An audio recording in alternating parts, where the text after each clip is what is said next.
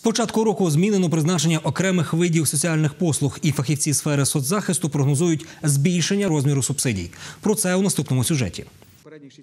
З 1 січня змінився розмір допомоги на дітей, батьки яких ухиляються від сплати аліментів.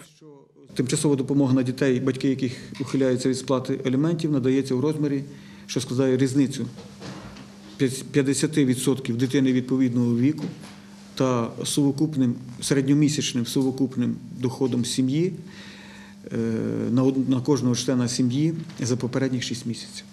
Прожитковий мінімум для дітей до 6 років тепер становить 1167 гривень, для дітей до 17 років – 1468 гривень. Для працездатних осіб прожитковий мінімум – 1358 гривень, для непрацездатних – 1074. У департаменті соцзахисту обласної адміністрації кажуть, що у січні середній розмір субсидії становив 1700 гривень, а у лютому може зрости до 1900. Протягом січня жителям області нарахували в субсидій на 400 мільйонів гривень. За лютий прогнозують надати субсидій на 500 мільйонів. За м, 2015 рік нараховано субсидій було літній період е, і частина опалювального періоду це понад мільярд гривень.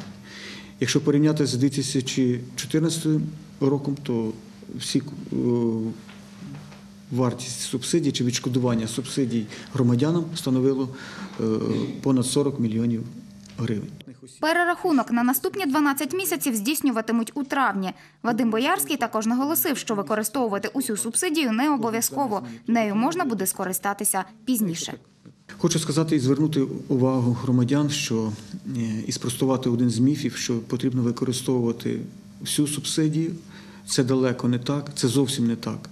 Потрібно використовувати стільки природнього газу чи житлово-комунальних послуг, скільки потрібно для е, житла, тобто щоб була нормальна температура проживання там, чи використання води чи іншої житлово-комунальної послуги.